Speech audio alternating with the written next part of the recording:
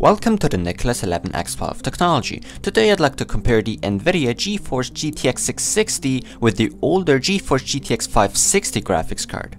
The specific models I'll be comparing against each other are the MSI and 660TF, 2GD5 OC, Twin Frozr 3 2GB GDDR5, and the Asus EN GTX 560, the C2DI 1GD5 1GB GDDR5. Alright, now let's move on to the benchmarks.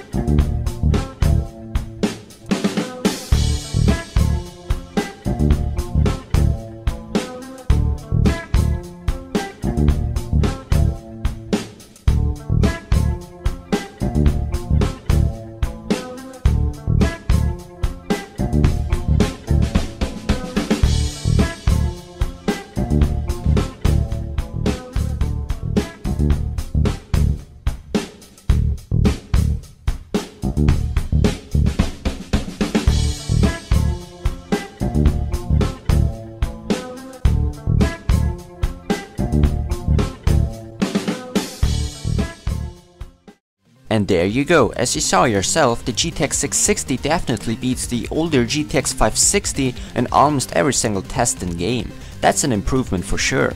Of course the newer GTX 660 costs more, but if you want a similar performing card to the 560, you should keep an eye out for the 650 Ti. There's a massive power consumption difference when comparing the GTX 660 with the 560.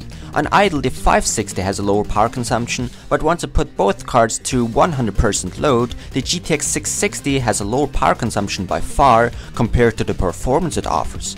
So all in all it looks like Nvidia did a great job on the GTX 660. So I really hope this video could help you out and maybe you've already made up a decision. Thanks for watching and don't forget to subscribe.